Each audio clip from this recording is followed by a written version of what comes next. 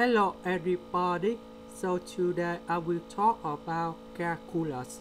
The topic today is about find the inverse function. So now I will show you the answer.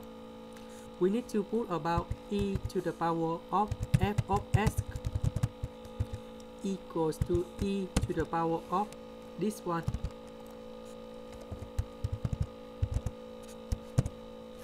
So we got about 1 minus s over 1 plus s.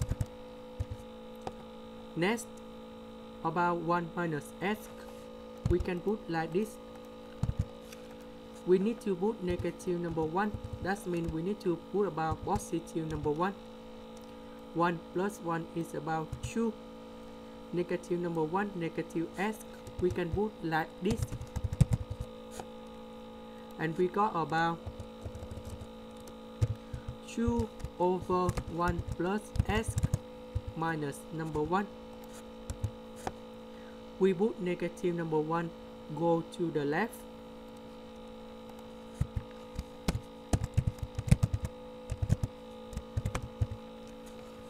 And we have this one. Later that we put this one go to the right. 1 plus s go to the left.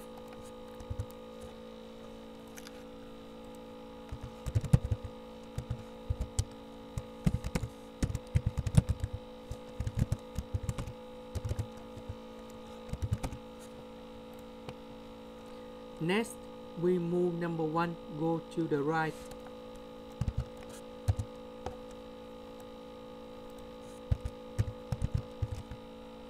And now we can find the inverse function in here.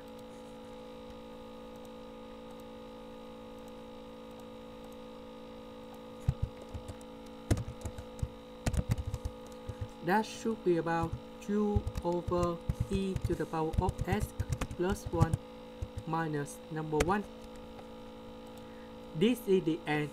Thank you for watching.